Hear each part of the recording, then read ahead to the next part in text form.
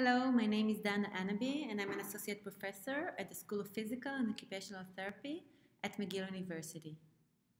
So I would like to share with you the results of an intervention study that was published in uh, May uh, 2019 issue of the Developmental Medicine and Child Neurology. In this study, we have tested a new intervention called PREP, aimed at improving the participation of youth with physical disabilities in community-based activities of their choice by changing aspects of the environment and by coaching both the youth and the parents. The PREP is a 12-week intervention that was developed in Kenya together with my colleagues Mary Law, Rachel Teplicky, and Laura Turner. In this study, each youth chose three activities or participation goals that they would like to participate in, yet found difficult.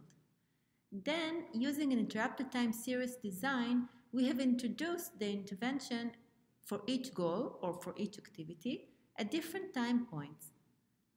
And then we have replicated the intervention effect within each youth across the three activities and across all the youth who participated in the study, which was 28 youth with physical disabilities.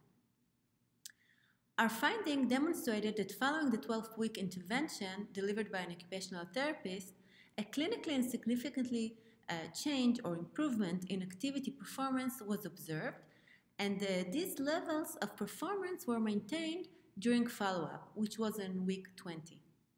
We also observed that the intervention was most effective for boys and for those with higher level of functional issues.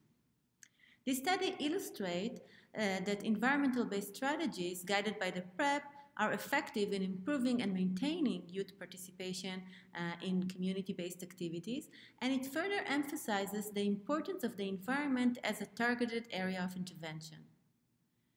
The study also contributes knowledge about pragmatic effectiveness studies that account for individual-based changes and context, and can serve as an alternative for traditional efficacy clinical trials.